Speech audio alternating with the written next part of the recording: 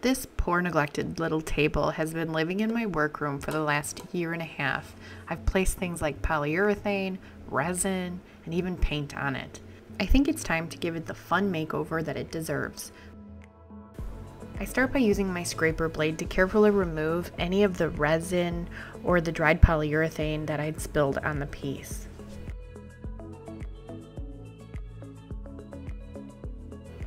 Then I'm cleaning my piece with Dixie Belle's White Lightning Cleaner.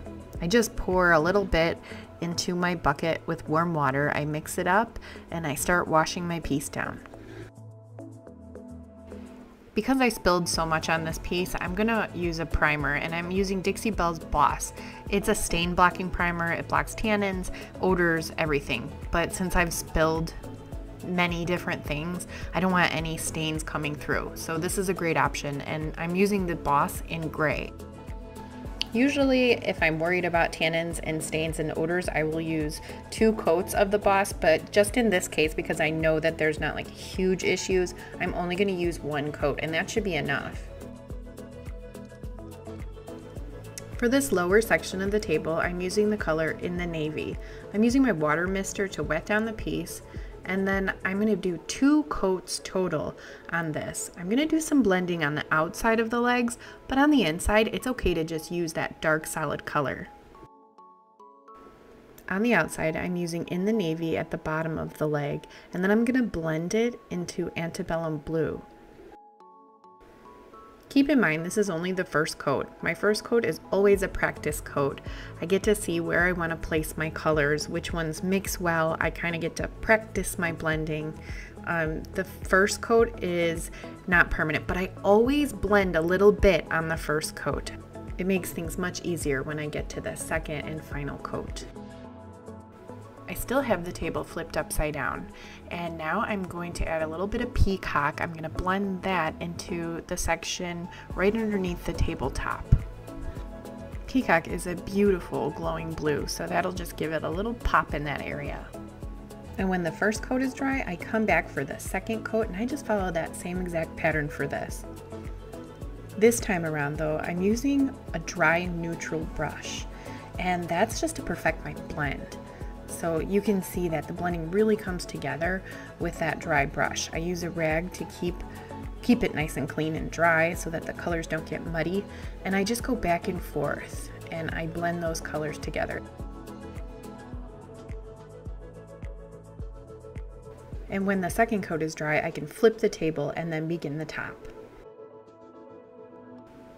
Once the table was dry, I was able to flip it over. Now I'm painting the insides of the legs in, in the navy on this little section. And then for the second shelf, I'm going to use in the navy on the outside and I will blend antebellum blue and we're going to add a little bit of green in the middle. Now for the top, this is the first coat and the first coat is dry. I'm not going to go with this so much. I want it to be a little bit more neutral because the transfer we're going to use is so bright and beautiful. I don't want to take away from it. So I'm going to use in the navy and antebellum blue on the edges and I'm going to blend that.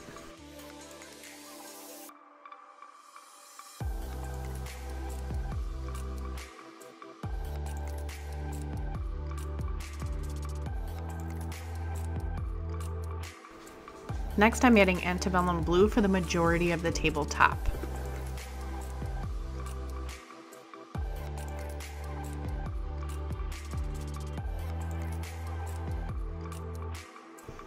I'm adding a little bit of the peacock just for a variation of colors and then I'm going to add a little bit of green and that color is called evergreen.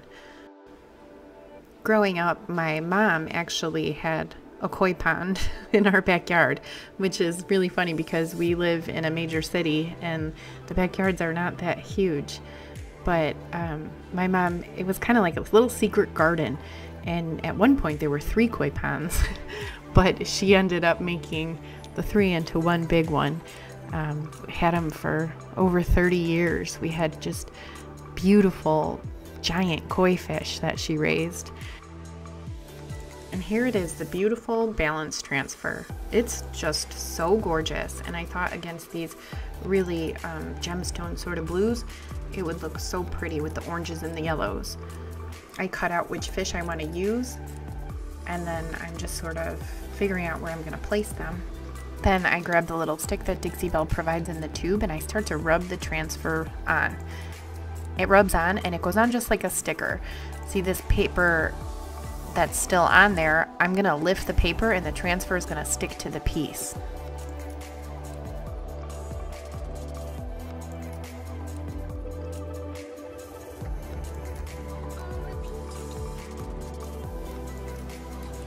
And there it is, the transfer is stuck to the table.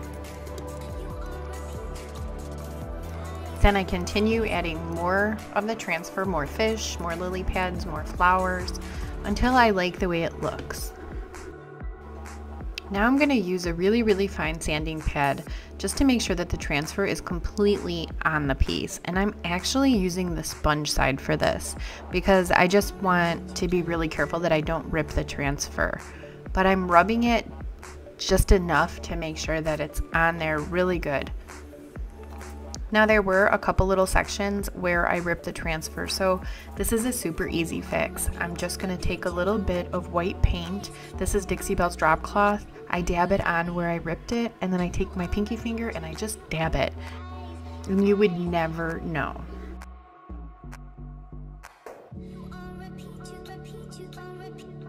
When everything is dry, I'm going to clear coat the entire piece with two coats of satin.